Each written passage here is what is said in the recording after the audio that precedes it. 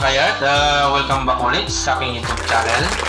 Nandito na naman ang inyong kusinarong Bisaya, si Nel Kayat, na nagsasabing, every gising is a blessing. Kaya halina't magluto at Oh kumain. shit. Here we go again. Balik gagawa tayo ngayon mga kayat ng ano, ah, Ah, kadalasan na makita natin ay pork barbecue, ah, chicken barbecue, pero yung gagawin natin ngayon mga kayat ay itong ah, ah, so hindi ko na ipakita mga kayat kung paano ko kinatay yung kambing, Ah, baka mapalo tayo ni Lolo Yutso. Are you accusing my takutation? Kaya itong ah, pakita ko ngayon, ito yung uh, karne ng kambing na hinahiwa ko na siya ng manipis at minamarinate ko po siya ng ah, 48 hours. Ito yung mga kailangan natin mga kayat, uh, yung ah, stick. Siyempre, kailangan natin yan sa pag-barbecue natin. Dahil matigas yung ah, karne ng kambing, ah, medyo dandahan po tayo sa pagtusok ng ating barbecue. Baka yung kamay natin ay ah, matusok ng stick dahil matulis po yung ating ah, barbecue stick. Uh, ito mga kayat, minamarinate ko lang po ito ng ah, bawang, kalamansi, at saka maglagay din tayo ng oyster sauce, yung ah, tuyo.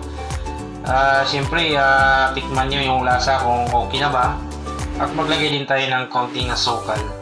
Yung ah, natirang ah, sauce na pag-marinate natin mga kayat, ah, wag po natin itapon yan. Dahil ah, kailangan natin yan mamaya habang ah, binabarbecue natin yung ating kambing. ah, ipupunas po natin yan sa ating ah, karne.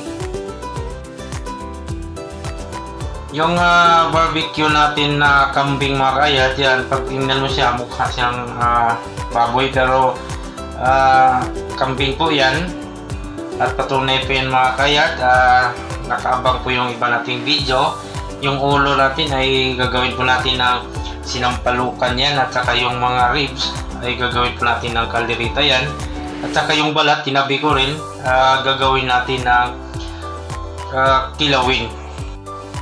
Kaya sa mga bago dyan, ah, huwag kalimutan i-like, i-share, at paki-subscribe na rin. Isama nyo na pagpindot yung bell button ah, para updated kayo lagi sa mga bago kong video. Dahil ah, araw-araw ako ngayon nag-upload ng mga video mga kayat.